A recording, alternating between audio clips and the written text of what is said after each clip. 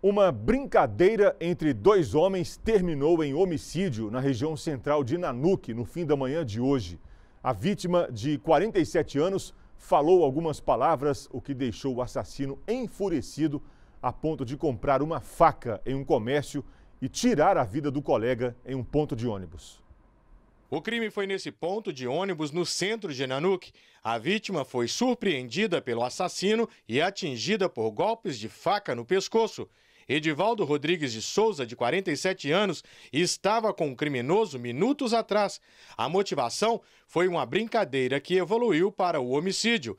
O suspeito foi até uma loja e comprou a arma usada para tirar a vida da vítima. Nem eu não sei, porque a gente, né, a gente trabalha. Eu fui abordada no meu trabalho falando que ele tinha sido esfaqueado. Chega no pronto-socorro, o assassino está aqui, não fala nada, o policial não deixou ele falar nada, disse que foi por causa de uma briga banal. Edivaldo foi socorrido para o hospital Renato Azeredo e, ao dar entrada na unidade de pronto-socorro, veio a óbito. O corpo foi liberado no início da tarde para o velório.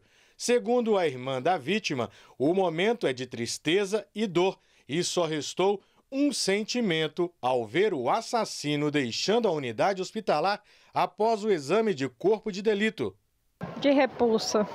De repulsa, você vê o assassino de seu irmão sair nem algemado não foi.